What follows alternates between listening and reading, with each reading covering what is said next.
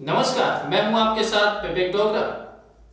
आज हम बात करेंगे कोरोना वायरस को लेकर। जी हाँ, कोरोना वायरस की दस्तक से पूरे आगरा शहर में व देश भर में बुरे हालत हैं।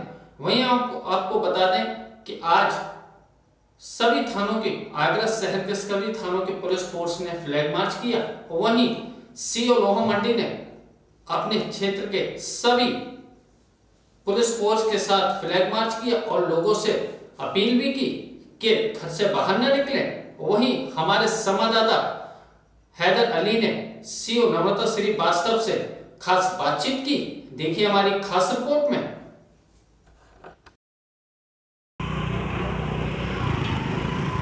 मैम जो फ्लैग मार्च जनता के लिए क्या अपील है? जनता से एक ही अपील है कि कोरोना वायरस की जो महामारी फैली हुई है उसको देखते हुए सभी लोग अपने अपने घरों के अंदर रहें और एक दूसरे से एक सेफ़ डिस्टेंस बना के रखें, जिसकी वजह से ये बीमारी उनके घर तक और उनके मोहल्ले तक ना पहुँचने पाए और साफ़ सफ़ाई का विशेष रूप से ध्यान रखा जाए।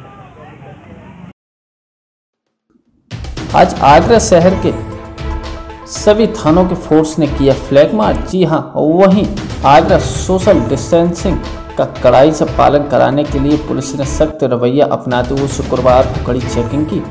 लोहा मंडी क्षेत्र में जगह जगह बैरिकेटिंग लगाकर दोपहिया और चार पहिया वाहनों की चेकिंग की गई। इस दौरान कड़ी पूछताछ के बाद ही ज़रूरी काम से निकले लोगों को जाने दिया गया, जबकि बेवजह तफरी को निकले लोगों को सख्त हिदायत देकर वापस भेजा गया।